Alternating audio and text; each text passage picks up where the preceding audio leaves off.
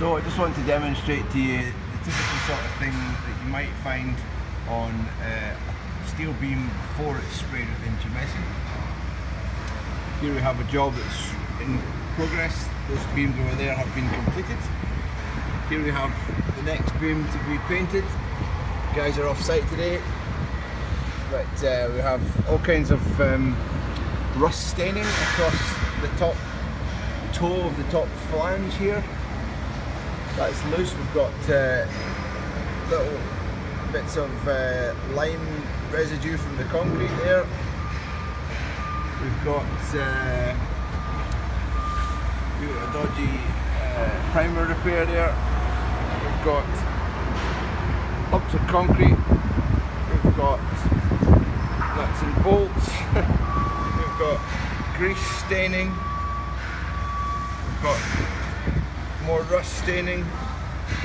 Some overspray from next door here. We've got some filings here which are quite loose. Okay. All kinds of contamination. Over here, very similar. More concrete staining here, or concrete loose residue on the surface. Look how loose that is. And more of this rust staining.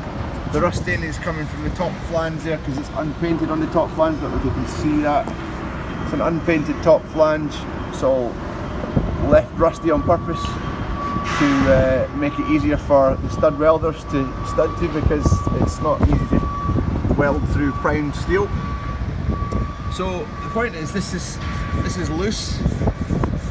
It should be solvent wiped or wire brushed or both because the fact that it's loose means that if you spray intumescent right on top of that uh, you're going to get uh, not very good adhesion promotion. So when the intumescent is not adhering to the steel properly it can be more susceptible to the ingress of moisture which is going to lead to moisture breakdown.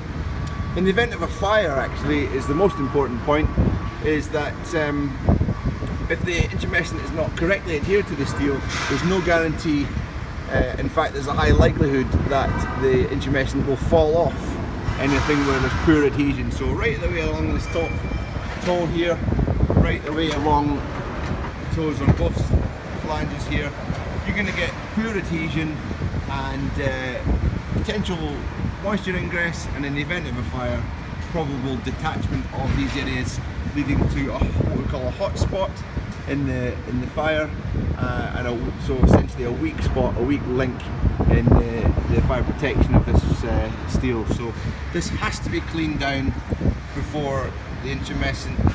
Invariably, unfortunately, it's not. It's, it's like some quality contractors will clean this down, some won't. As you can see, this has been done even on the other side of this beam. It's actually already complete. Your guess is as good as mine whether or not they cleaned it down or not.